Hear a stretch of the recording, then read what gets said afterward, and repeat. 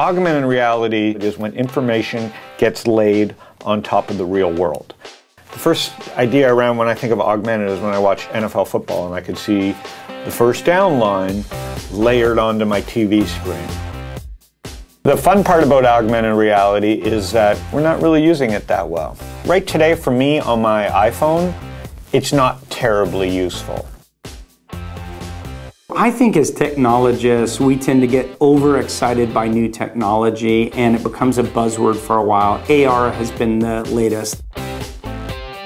The thing with it, uh, augmented reality, if you don't know, it's the idea that I can look around me and I, I want to be able to see in a kind of virtual way, almost 3D like way, the objects that are around me.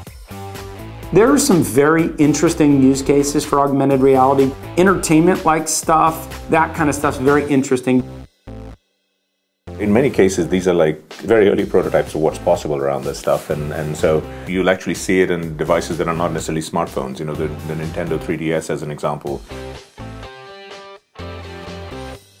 Imagine the possibilities around medical, you know, seeing your doctor and, and, getting views quickly of the body. Shopping, obviously trying on clothes and seeing how you look in different things. You know, I'm a big golfer. I can just point my camera at the golf hole and see where hazards are and see how far I need to hit it.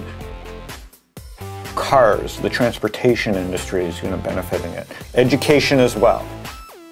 Augmented reality probably will improve your life without you even knowing it.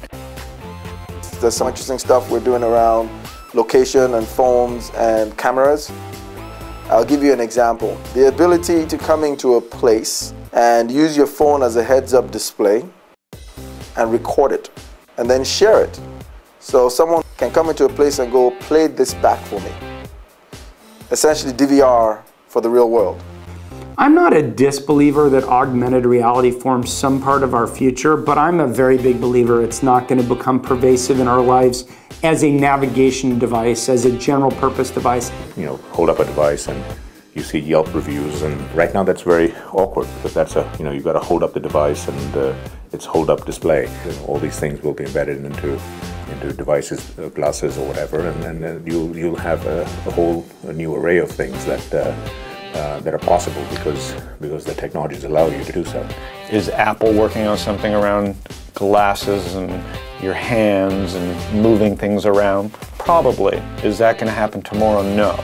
Is it going to happen in the next 20 years? Yes. So it's exciting to just see that this makes it possible. Location now is opened up. Will it be the killer app? I think it's just part of the whole new experience with mobile.